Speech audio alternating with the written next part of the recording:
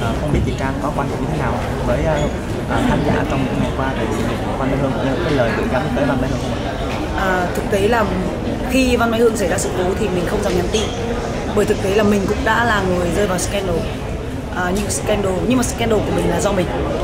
Là cá nhân mình không kiểm soát được lời nói và không kiểm soát được sự à, bia rượu. Nên là mình xảy ra scandal và mình cũng bị rơi vào tình trạng của người ta phá mạng và chửi bới. Và bản thân mình lúc đấy mình nghĩ rằng là họ chẳng có quyền gì để chửi bới mình cả. Mình làm thì mình chịu. Tuy nhiên sự cố văn mai hương là một sự cố cực kỳ đáng tiếc. Và là nó là một cái ờ, việc mà chúng ta phải thấy rằng là cái sự ô nhiễm về cái trí tuệ về cái suy nghĩ và về cái đường lối sống của con người uh, chúng ta và giới nhất là giới trẻ nó rất là tởm. Phải dùng một từ tởm. Bởi vì thực tế là các bạn luôn luôn thích soi vào háng người khác soi vào vú người khác hãy soi bất kỳ những bộ phận nhạy cảm của người khác nhưng các bạn không nghĩ rằng là nếu như người ta cố tình để lộ hoặc là người ta tung ra đã đành đằng này những cái clip rất riêng tư trong nhà. Và cái này là một cái sự nên án rất là mạnh mẽ với cái đạo đức của một số người nắm trong tay những cái kỹ thuật về uh, mạng về uh, camera. Bản thân nhà mình cũng là camera từ trên xuống dưới từ A tới A. Nhưng mà mình thực sự là mà mình hơi rốt công nghệ nên là mình cẩn thận lắm. Cứ kiểu đi tắm cứ kiểu thay đồ là mình rút camera phòng ngủ ra. Bởi vì thực tế là à, mình à, rốt cái gì thì mình lại là không dám sử dụng cái đó. Nhưng mà sự cố Văn anh Hương là một cái sự cố mà mình thấy rằng là khi trên mạng mọi người cứ hỏi nhau tìm tòi cái clip xem người ta tắm trong nhà sao thay đồ ra làm sao thì mình thấy là văn hóa rất xuống cấp. Và đến khi mình vào tường Facebook của những con người đó ấy, thì toàn là những điều văn vở mà. Toàn là thương hoa tích ngọc với đi chùa cầu nguyện mà. Nhưng mà hành động thì rất là tởm. Bởi vì bạn cứ so với cái háng người ta hoặc vào, vào, vào cái những cái người ta bị bị hại mà bạn à, nói rằng là thế này thế kia sẽ gọi bình phẩm thì các bạn chẳng có tư cách gì cả. Các bạn luôn nói những lời đạo lý nhưng mà hành động của các bạn thì sẽ rất là tởm. Và mình nghĩ rằng là cái việc này là một cái hồi chuông cảnh tỉnh cho tất cả những ai sử dụng à, camera. Và đặc biệt là luật pháp phải cực nghiêm trị những cái thể loại mà nó tung ra cái này. Cái này không những là phải cho nó vào tù, mà vào tù các anh chị trong tù phải dạy dỗ lại. Cho nó nhớ, bởi vì cái thể loại này này chúng nó rất là khốn nạn với người khác. Thì đến khi mà gia đình chúng nó gặp chuyện đó, người thân chúng nó gặp chuyện đó và đẩy người ta đến những cái bờ của việc tự vẫn là chuyện bình thường. Với một người bình thường gặp sự cố này, họ đã không chịu được nổi. Chứ đừng nói đến sức ép của một người nghệ sĩ. Trong khi hương nó là một đứa rất là lành và sạch nói chữ sạch trong showbiz về cái chuyện nó phát triển sự nghiệp. Thì mình không dám nhắn tin không dám gọi điện mặc dù cũng rất là thân. Bởi vì thực tế là trong lúc này mình càng nhắn tin càng gọi điện nhiều thì giống như kiểu nỗi đau của họ càng được sắc mối à, tốt nhất chúng ta hãy bảo vệ bằng một sự im lặng. Và vì có tất cả những cái thể loại nào share link với copy link với gửi link đi nói chung là lúc này là lúc cần những người là fan thật sự đi report rip nick cho tất cả những cái thể loại của nó đi về với di vãng đi, bởi vì cái văn hóa của các bạn nó hơi bị kém ở điểm đấy. Nếu như các bạn nghĩ xong nếu mẹ các bạn, em gái các bạn, chị các bạn, bà các bạn bị như vậy thì các bạn có cảm thấy vui khi người ta cứ đòi linh người hay không?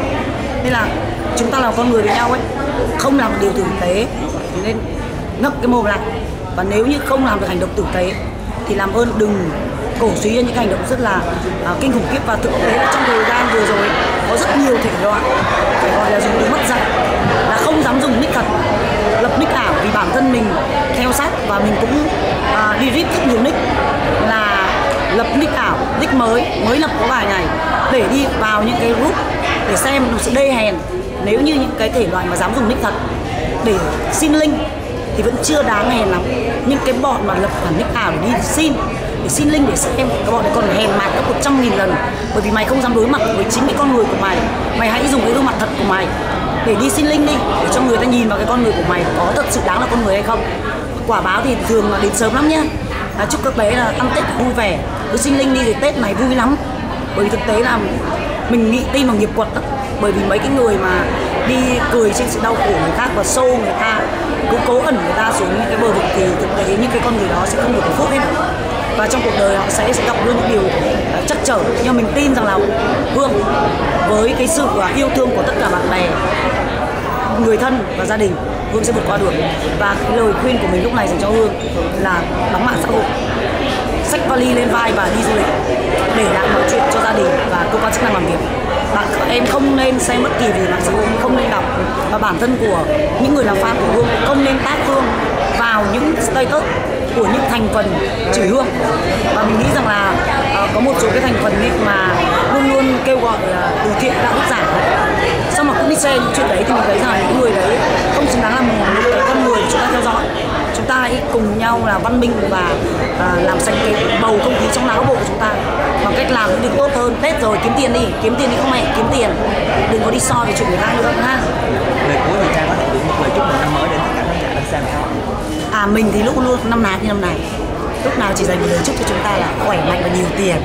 Phải khỏe mạnh và nhiều tiền thì mới làm phiền được thiên hạ vui vẻ khỏe mạnh nhiều tiền nha các bạn. Rồi cảm ơn chị trang. Rất là nhiều nam. Thì những ngày qua tấn thành có những cái quan điểm như thế nào về uh, phía sự cố của văn mai hương? Như là một cái lời gửi gắm tới khán giả. Không? Ờ, tôi nghĩ là đối với Tuấn thì à, Tuấn không ủng hộ cái việc này Tuấn không ủng hộ cái việc share hay là phát tán những cái chuyện này. Tại vì nếu giống như mọi người đã chia sẻ nếu như mà người thân của mình ở vào tình huống đó thì sẽ như thế nào? Và bản thân Tuấn hoàn toàn không ủng hộ. Và Tuấn mong muốn là tất cả mọi người hãy có nhìn khắc khe hơn và chúng ta đừng có có có, có làm cái chuyện đó nó quá dễ dàng. Tại vì cái chuyện mọi người cứ suy nghĩ là ờ share vui vẻ này kia nhưng nó sẽ trực tiếp ảnh hưởng đến tinh thần của người bị hại và bản thân của người đó sẽ sống một cái ngày. Nói chung là sẽ, sẽ không tốt và tôi mong là tất cả mọi người hãy dừng ngay cái việc này chúc tất cả mọi người sẽ có một năm mới đầy niềm vui nhiều sức khỏe luôn luôn xinh đẹp và gặp nhiều may mắn cuộc sống luôn luôn thành công nha. Nhớ đón xem phim bố già sẽ được phát sóng vào ngày 2 tháng 1 năm 2020 vào ngày thứ năm trên kênh youtube của anh Trinh Thành. Cảm ơn tất cả mọi người.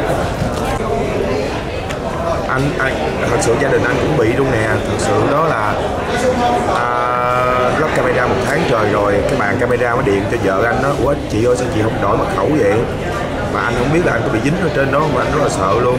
Cho nên cái vấn đề này là cái vấn đề mà uh, nói chung là mọi người đừng xem người đừng có coi cái vấn đề rất là tội nghiệp. Nên lâm lâm lâm lâm không biết nghĩ cái gì nhưng mà lâm phản đối cái vấn đề mà xe cái bản thân lâm là lâm cũng sợ. Nên bây giờ lâm phòng phòng lo sợ luôn á. Khoảng ờ, hai 2 tháng trước là các bạn lắp camera nhà anh á điện thoại cho vợ nó của chị ơi sao mà bên em lắp xong rồi bên chị không đổi mật khẩu? Rất là sợ biết sao nhưng mà anh trai chứ không sao đâu.